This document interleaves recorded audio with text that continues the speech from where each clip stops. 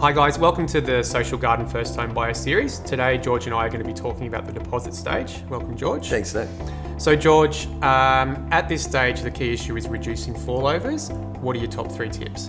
Yeah, look, I think the top three things to think about at this stage is transparency, celebrations, so celebrating the wins, and thirdly, a smooth handover from sales to operations. Let's break down your first point around transparency. What are you talking to specifically here? Yeah, I think the key to this is really about managing expectations for the buyer. So making sure they understand what the next step in the process is going to be, mm-hmm. and you know that can be delivered through uh, through content and through a content nurture. But yeah, making sure it's clear that, that so that they know what's coming next. So George, let's uh, break down your second point around the celebration piece. Yep. What are you talking to specifically there? Yeah, so I think this ties in really nicely to what we were talking about previously around uh, the nurture piece. So look, the the the path to purchase is quite a lengthy and arduous mm. process for first time buyers. So we want to celebrate the fact that they've come to the, the end of, mm. of sort of the tricky part, I suppose, and, and deliver that through content nurtures. And mm. the other piece is we want to give them information and content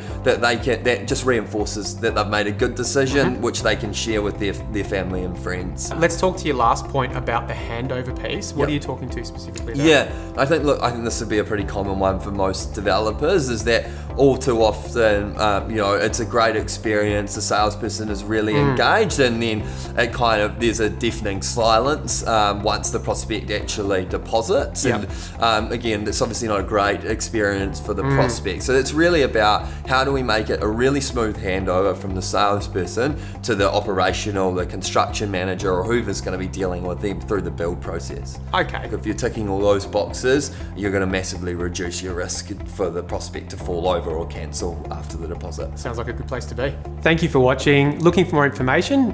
Download our customer journey mapping framework.